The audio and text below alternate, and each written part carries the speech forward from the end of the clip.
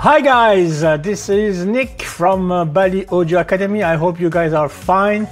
Um, I'm so glad to be today with Mike Butcher. Mike Butcher is a guy I met 30 years ago, something like that. When I was a young assistant, he was the engineer. We were all looking up to this guy because he had a great credits. Um, are, he's a legend in Belgium. He's a legend actually. The more I talk to people around me about him, people say, "Oh yeah, I did this with him. I did that with him." Um, uh, he came to Belgium in the 70s. He will tell us all about it, and he worked with amazing bands uh, in Belgium. Believe it or not, he brought these amazing bands to Belgium, from what I understood, which is amazing. So, Mike, hi, welcome to the show. Thank you so much to be with us. Thank you for inviting me. Where you come from? Well, I'm from London originally. London, United Kingdom, England. Sure. So when did you move to Belgium? Uh, I moved to Belgium in 1974 originally. I did go back to the UK in the 80s for five years, four and a half years, and then I came back to Belgium in the late 80s, 90s. If we back up a little bit, I started my career in a studio in London called Morgan Studios, and uh, I started in 1970. In the early 70s in the UK, there was a problem with tax for artists. When the socialist government was in power, you could pay 90% tax. But there was a loophole in the law that said um, if you recorded outside the UK, you didn't have to pay tax in the UK on albums sold outside the UK. So a lot of people started recording uh, outside the UK. So the Rolling Stones, they did Exile in Main, Main Street. They did that with the Mobile Studio in France. Elton John recorded Pink Floyd. So there was a, a Belgian uh, publisher who wanted to open a studio in Brussels called Roland Kluger. And uh, he wanted to open a studio, but he was friends with the guys that owned the studio in London. So they they kind of combined it. So he he was the managing director in Brussels, and then the Morgan uh, supplied all the equipment.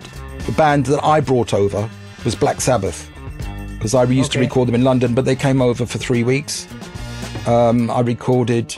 I did a mix of. Um, uh, I'm going to say Iron Maiden, just one song. And there are lots of other bands that come over. I didn't necessarily all do myself. I mean, at one point I started working with a lot of Belgian artists. I, I okay. worked with a lot of, uh, uh, you know, all the famous Flemish artists, and uh, and and I was still going back to the UK sometimes. But um, what did you record on? What console did you use at that time? Uh, it was a Cadac. You know, it was quite well known at the time. There were four studios in Morgan, London. We had, uh, including also a studio that had quadraphonic, and then we had a Cadac in Brussels also. They're, they're custom custom made for the studio. Morgan in London was the first studio to have a 24 track. Okay. And and when we opened Morgan Brussels, we had a 24 track and a 16 track, and it was the first quadraphonic studio in Europe. So it was actually designed as a quadraphonic. Story I heard. I'm not sure. I, maybe you, you will finally con- confirm or deny the, the rumor I heard for 30 years. Did you do sexual healings? Yes, yeah, yeah, I, yeah. No, I did the last Marvin Gaye album. Yeah, I didn't mention it earlier on. That wasn't at Morgan. That was in Studio Katy in Belgium. Yeah, in 1981 and uh, 1981 to 82. Yeah, we were like almost a year in the studio. Not every day, but during that period. Yeah, yeah. Midnight Love, the album Midnight Love, which has sexual healing on it. Yes.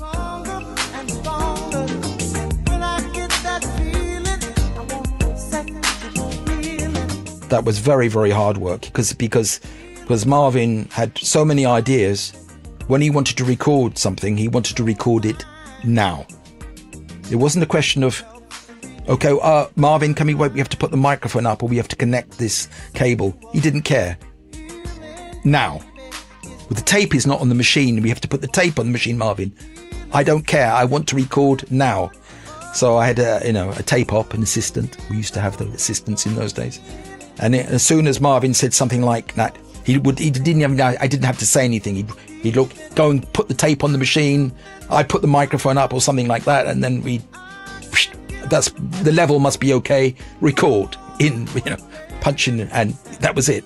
And and it's funny because you know when you're in a in a club or you're in a in a bar or something like that, and that music comes on, and I, I and I'm trying to imagine myself sitting at the console at the time, thinking, would I've You know, would I be listening to that 40 years later, sitting in a bar in Luxembourg or wherever? You know, you know, you know, it's like because I mean that's the other thing about you know music today. But nobody believed at the time people would be listening to it 30 or 40 years later. Because, you know, when sexual healing, when we worked on it, we already knew basically it was going to be successful because it's, it's great. I mean, you know that. You're listening to that every day in the studio. You go, oh, this is a hit, you know. But you think it's going to be, you know, one year, two years, three years, and then fade away, you know. And then occasionally, you know, somebody would play it in their house. You didn't expect to you know, hear it in a club or a bar 40 years later, you know.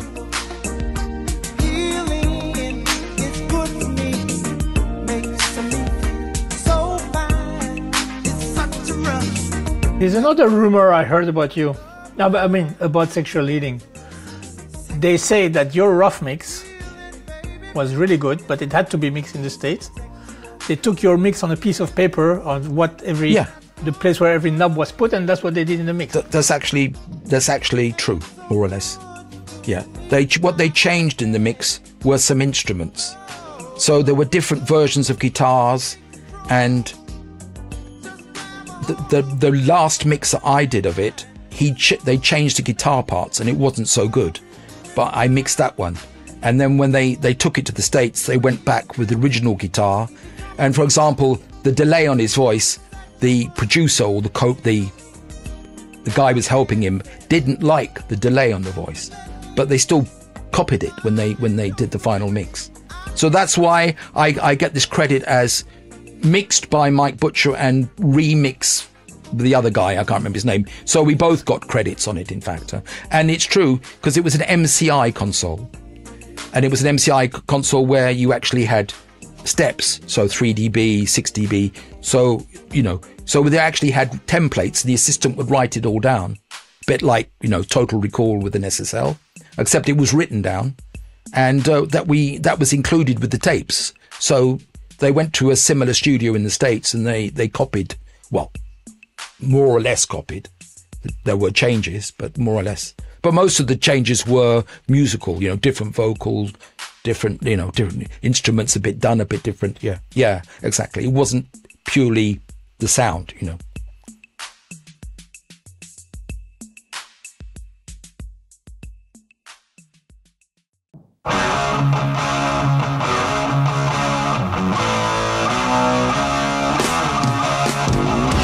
For some reason, there are a lot of uh, people into heavy metal in Luxembourg.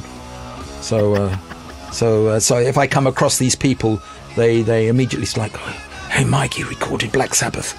Oh, like uh, respect, respect, respect. Well, it's just a job, you know. Do you have any good stories about uh, Black Sabbath recording? So I recorded two albums with Black Sabbath. I recorded the album Sabbath, Bloody Sabbath, and Sabotage. And the thing is, is that um, despite what people think about them, they weren't that crazy in the studio. And um, let's just say there were some illegal substances involved. okay. And I wasn't doing illegal substances. So even though they would always trying to t- get me to take illegal substances, I would always refuse. And in fact, I think they actually quite liked it because it was always good to have somebody that knew what he was doing at, at some point. Going back to days where record companies spent a lot of money. So, you know, we would be three weeks in the studio at a time. And you know the studio was blocked out from the afternoon until all night if you wanted. And so the studio was from one o'clock in the afternoon. I would get there at two o'clock because there was no point in getting there earlier. The first one would arrive at four o'clock. We wouldn't start recording until 10 o'clock in the evening. And uh, and the thing is about them as much as they were fun fun guys they're playing jokes and doing stupid stuff and drinking and whatever when we actually worked, we actually did work like two hours concentration, three hours.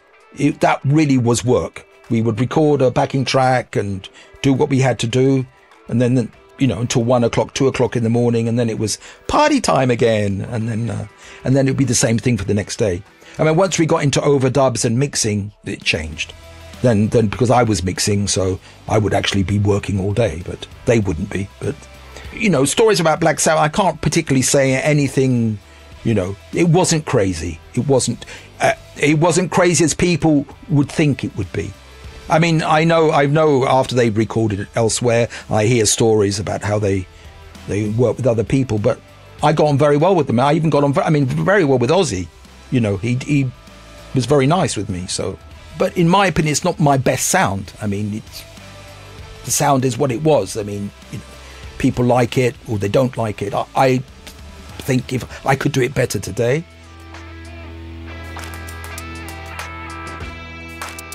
So Pro Tools is fine. The plugins, some of them are great.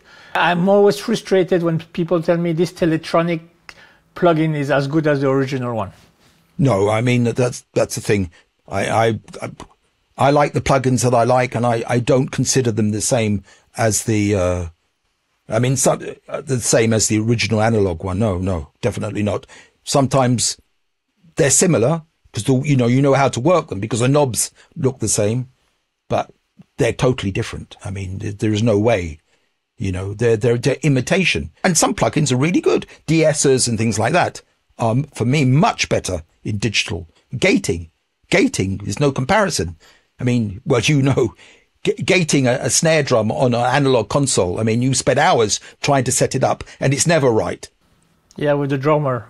drummer. The, the... Yeah, the guy didn't hit the snare loud enough, and that gate didn't open, so that snare beat's missing. It's on analog tape. Uh, you have to go back and fix that. I mean, you know, and uh, no, gating and de-essing and and those kind of and I mean, uh, you know, cleaning up, digital cleaning up. You got hum, things like that. I mean, that is really good now. You know.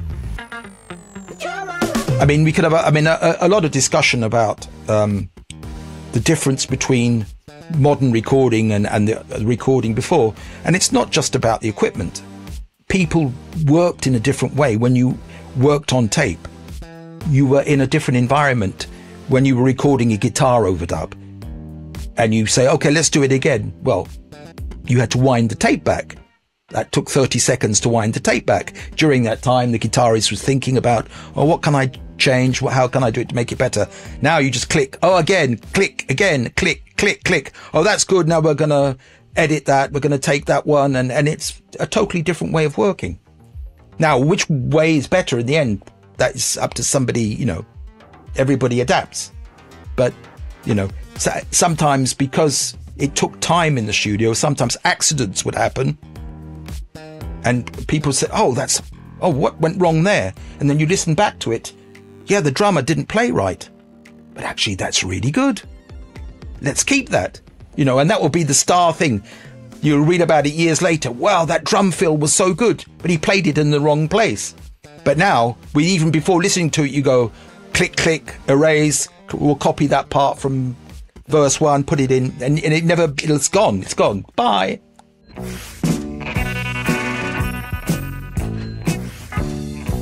Me, the best sounding album is Dark Side of the Moon from Pink Floyd, and I think no plugin, nobody, nothing gets close to that.